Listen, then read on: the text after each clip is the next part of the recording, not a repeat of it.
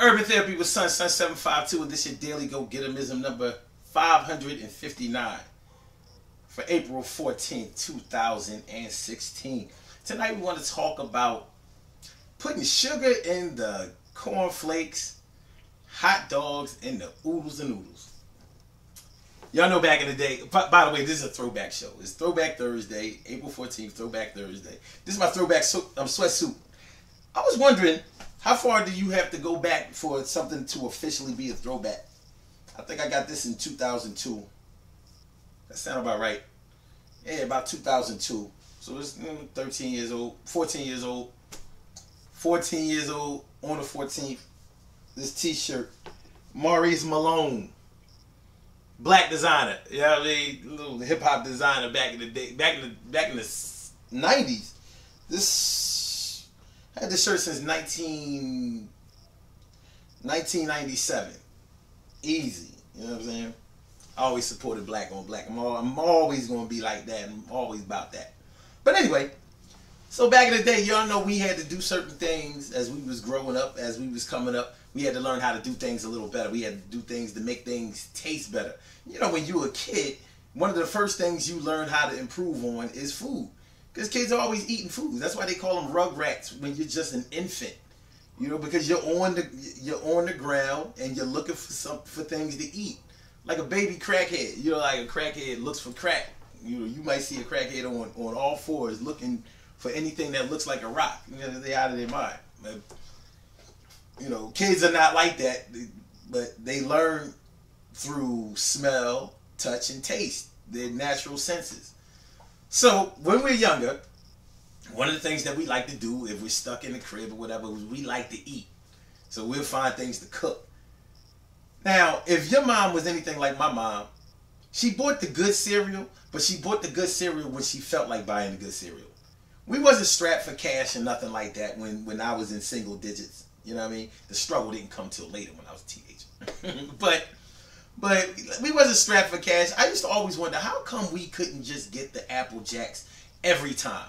That was my favorite um, cereal, Apple Jacks. So how come we couldn't get Apple Jacks every time you went to the market? Why? But she didn't. Every now and then she would buy this healthy cereal. So sometimes we had to eat grape nuts. Sometimes we had to eat cornflakes. Sometimes we had to eat, uh, anyway, non-sweetened cereal. I guess the healthy stuff whatever. Grape nuts though? Is that even, kind of cereal is that? It's like, uh, garbage. With a name like grape nuts, you be thinking that's that shit is gonna be like really good, but it's not. It's just alright. Like it ain't it ain't terrible, but it, put some sugar in the grape nuts. That's what we would do.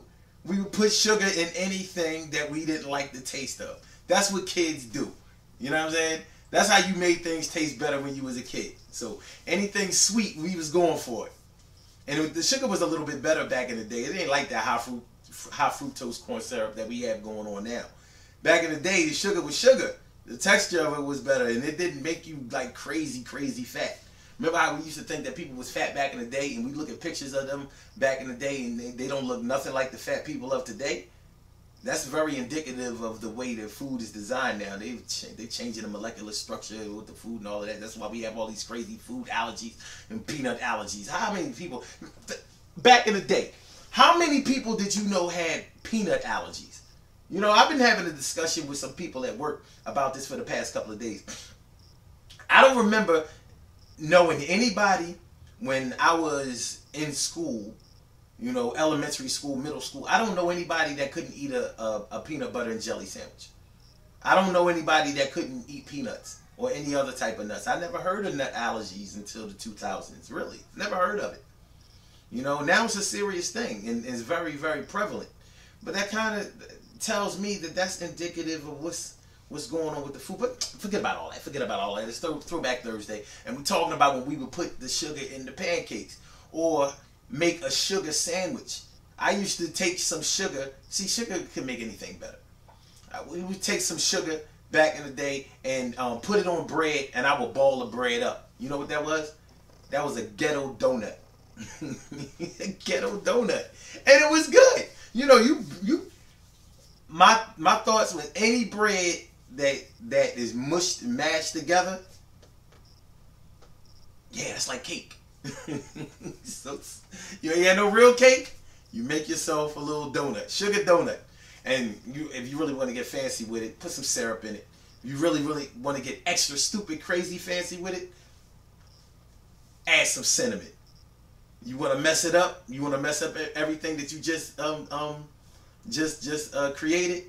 Put some vanilla extract in there, because vanilla extract smells great, but it tastes terrible. I don't know how it makes things taste better after you bake it. I don't know the science on that. But I know if you try to, if you know, you smell some vanilla extract and you're thinking about the the taste of vanilla, like vanilla ice cream or whatever, and you taste vanilla, extract and it tastes like earwax. Like, what, how can something that smell that good taste that terrible? But that's what it was. So what we got? Oh, oh, the oodles and noodles. Now you y'all know oodles and noodles is a cheap meal. Now, in the seventies, when they used to have the oodles and noodles, well, it, before oodles and noodles ever came out, they, they were the Chinese noodles. They weren't even called ramen noodles.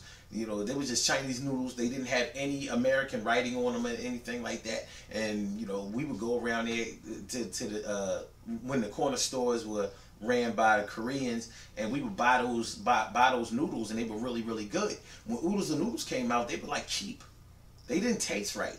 You know what I'm saying? Like I, I thought they taste really cheap, and they were they, and they cost really cheap. You know, as as late as the early 2000s, I think you could get like six packs of oodles and noodles for like a dollar. They're cheap, so you know that there's no, no nutritional value in it. But oodles and noodles is one of those meals that you can make when you when times are hard and you need to make ends meet and you got to get something on your stomach. You know, um, if you're away in college, oodles and noodles was like, man, we ate so much of that garbage. We ate so much. I swear, when I when I graduated college in 1993, I vowed I would never eat oodles and noodles ever again, ever. Few years went by, and then we reconciled. Not because I had to, because I missed the stuff that I used to put in the oodles and noodles.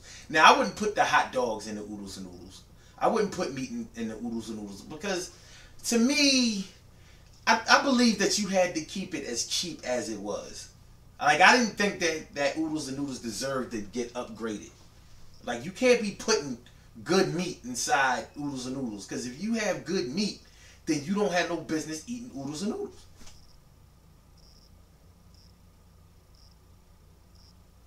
At least that was my reasoning.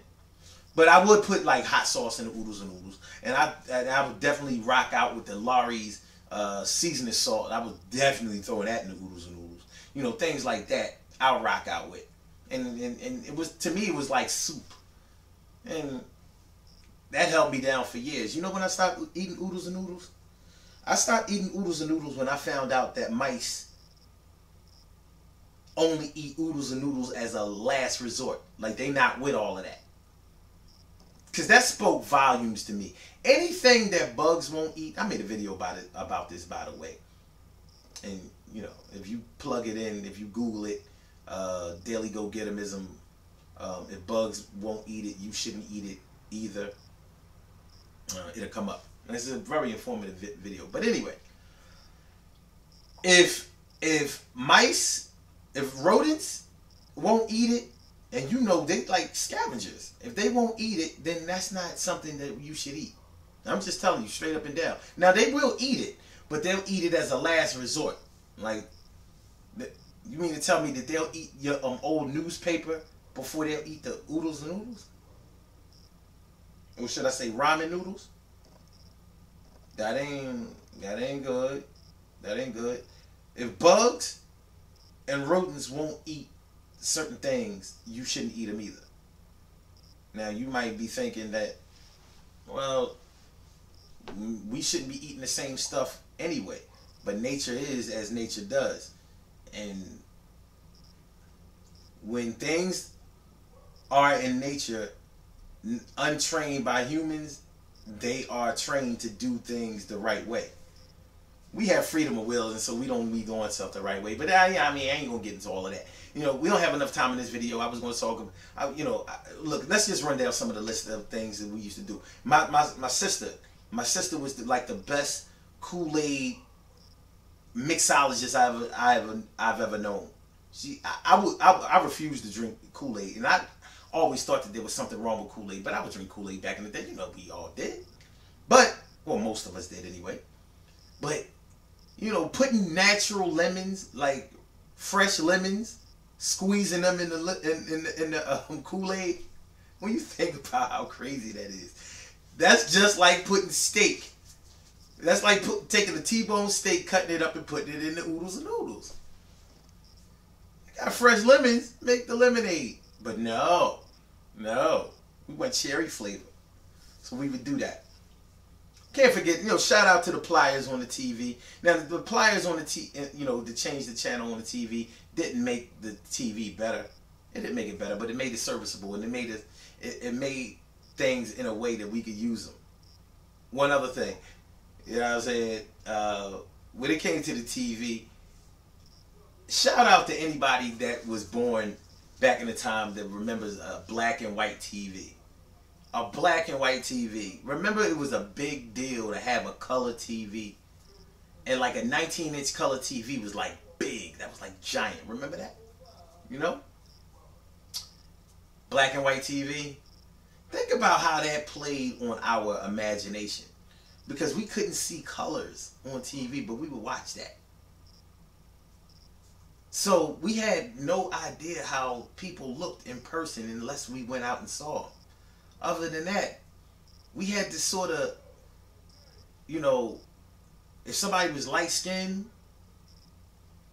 really, really light skinned, we didn't know, it, it was hard to tell whether they were black or white. Because of black and white TV. Something else, man. It's a hell of a phenomenon. Good things happen to those who wait. Great things happen to those who grind. And anything can happen to those who go for theirs. So go hard, go for yours. And remember, one of the things that I wanted to get, wanted y'all to get out of this video is that back in the day, we had to do things to improve our lives, and we did it because we were creative. One of the things that technology is doing to us is, it's taking away a lot of our creativity, in my opinion. But those of us from back in the day still should have some of uh, some of ours. If we haven't succumbed to all of the technology and you know one one of, one of the things that you might want to practice practice memorizing some phone numbers again. If nothing else it's good for this. You know there should be at least three phone numbers that you you should know by heart. Practice another three just saying this is good exercise don't forget about the speaking of good exercise don't forget about the mind right and body better fitness program this saturday the 16th, April 16th, 10 a.m. to 12 p.m. Eastern Standard Time. Come holler at us. Come get with us. Come exercise with us. Come um, improve yourself with us. Put yourself out there. Make yourself be great. And it's never too late. So I'll holler at y'all later. Peace.